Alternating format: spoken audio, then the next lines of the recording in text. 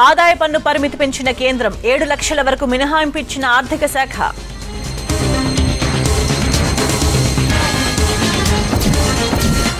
Customs tax పెంపుతో భా- భారీగా భారంగా బంగారం వెండి మొబైల్స్ ఎలక్ట్రానిక్స్ పై సుంకం తగ్గింపు. గ్రీన్ ఇండియాకు మరింత ప్రాధాన్యత ఇచ్చిన కేంద్రం.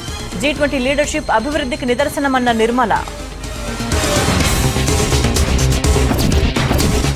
వ్యవసాయ అభివృద్ధికి ప్రత్యేక నిధి ఏర్పాటు. హైదరాబాద్ కేంద్రంగా శ్రీ అన్న స్కీమ్ కోసం పరిశోధనలు.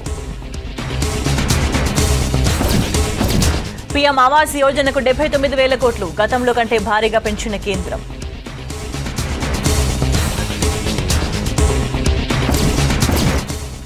ఎన్నికలున్న రాష్ట్రాలకు భారీగా కేటాయింపులు కర్ణాటక ఇరిగేషన్కు ఐదు వేల తొమ్మిది వందల కోట్ల నిధులు.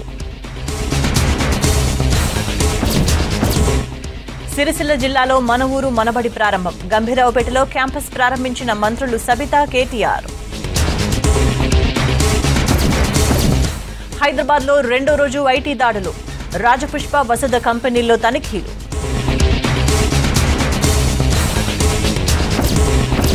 వైభవంగా మొదలైన మేడారం మినీ జాతర పెద్ద సంఖ్యలో తరలివచ్చిన భక్తుల మొక్కులు.